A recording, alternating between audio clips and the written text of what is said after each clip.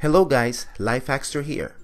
If you're having connection issues, delayed response, and alerts on your Ring cameras, then you might have Wi-Fi connectivity problem. If you're following my channel, last week I installed my Ring floodlight camera.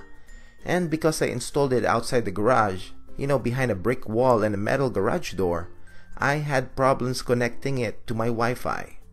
I actually cannot find my Wi-Fi if I'm outside and the garage door is closed. So luckily, I have an old Wi-Fi extender which I installed inside the garage and that's the only place where I can get a good connection. And that's the only time my floodlight camera is able to connect. My only issue now is the high temperature in my garage, especially during summertime here in South Texas. So I don't know if my Wi-Fi extender will tolerate the high heat. Now, Ring has this product called the Ring Chime Pro, which is, is an indoor chime and Wi-Fi extender for the Ring cameras. Please note though that this will only work for Ring products. So basically, this product is a Wi-Fi extender and also a chime with multiple alert tones.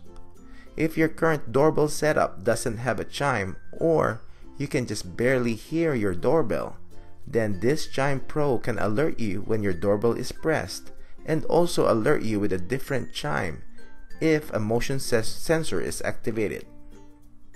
You can assign different tones if you have multiple cameras so that you will know which ring camera was activated.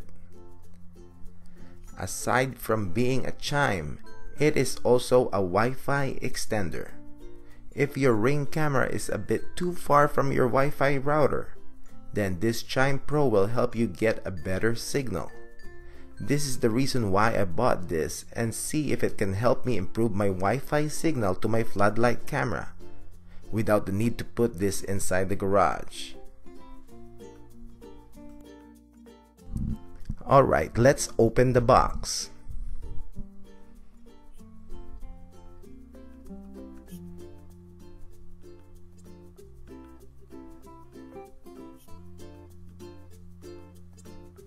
Now here we have the Ring Chime Pro unit itself.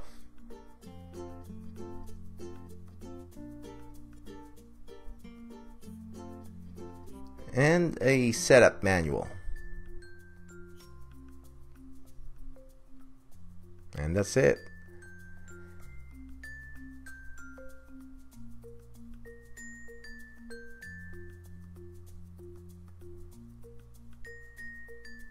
The unit is pretty compact and is designed to be directly plugged in and a power outlet. We have the two antennas and a plug on the back which is removable. I'm assuming it is removable so that it will, can easily be swapped out in countries that have a different plug. And you can easily slide the plug plate back in.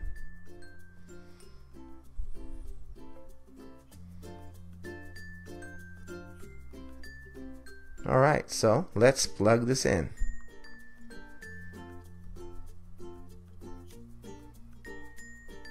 Now I'll open the app, click the plus sign to set up the device, scroll to the Chime Pro. Click Setup.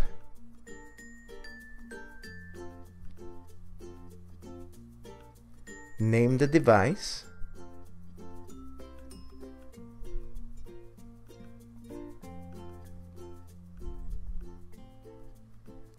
Verify your address, and wait for the blue light on the logo to pulse slowly.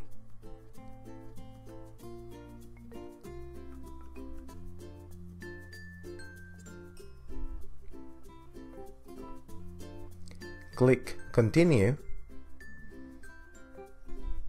then exit the app and go to your phone settings and to the Wi-Fi.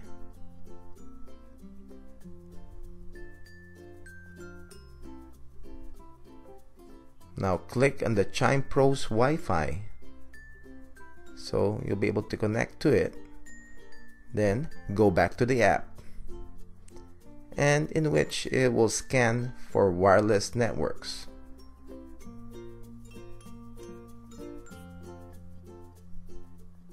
Then you can choose which Wi-Fi it will connect to. This is the Wi-Fi that you need to boost the signal. So type in the password, then wait for the device to connect. Now it is connected and it will show you the screen of available ring cameras that you can connect to the Chime Pro.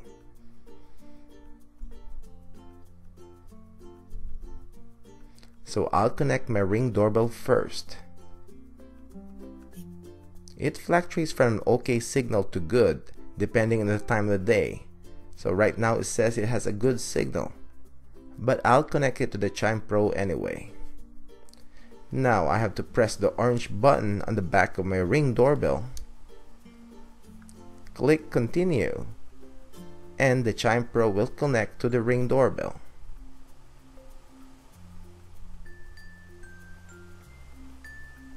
Now it is connected.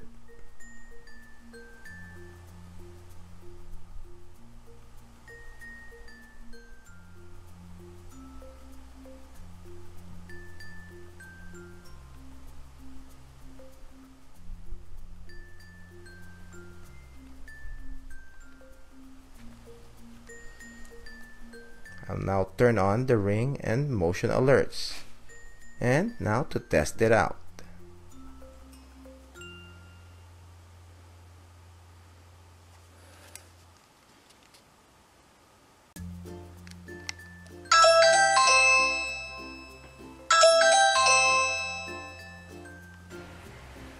Now let's see if I can connect my floodlight camera.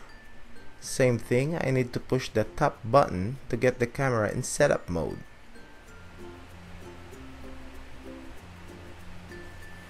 Now the Chime Pro will connect to the floodlight camera.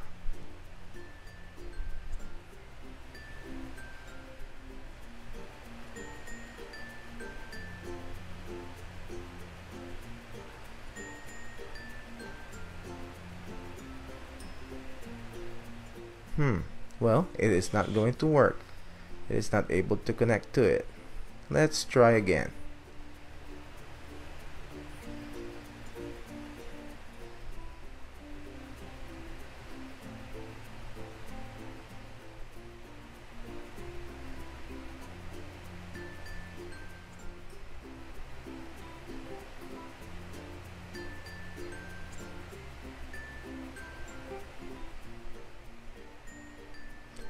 Same thing. I guess I need to plug this in the garage just to be able to connect to it.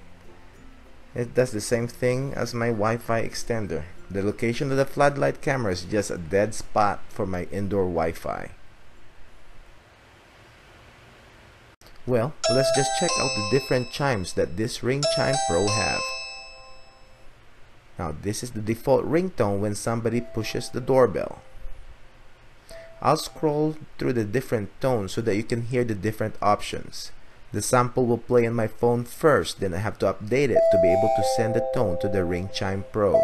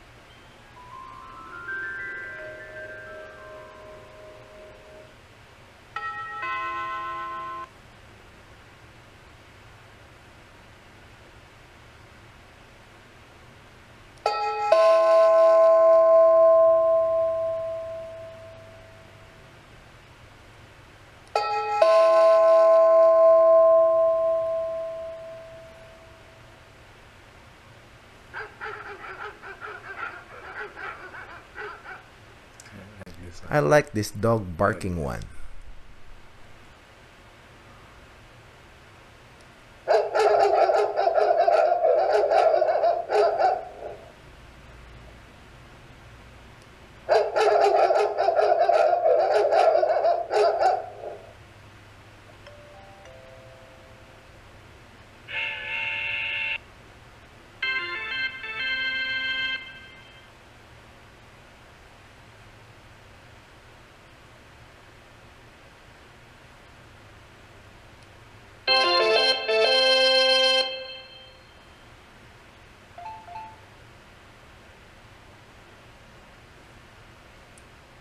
So in here, you can pick different alert tones for the ring and also when motion is detected.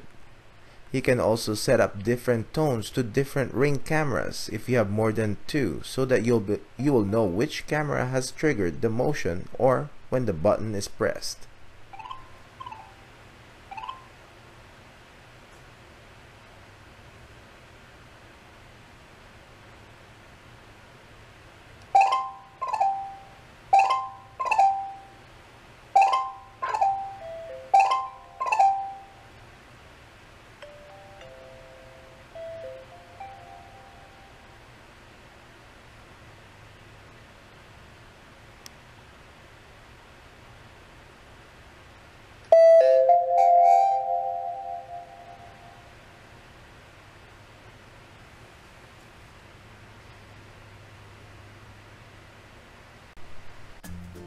Well guys, the Ring Chime Pro didn't work for me as an extender.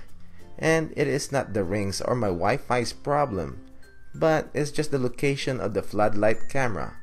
And I know a lot of people will install this in the garage area or on a brick wall with a metal garage door.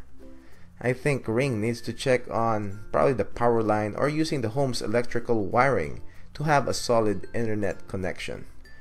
Anyways, for now, I'll be using my Netgear Wi-Fi extender in the garage and the Ring Chime Pro will be returned or I'll exchange it with the Ring Chime. I like the different tones that I can choose and also will be alerted in the house even if I don't have my phone with me, especially in motion alerts. So, there you have it guys. Thanks for watching and hopefully you like this video.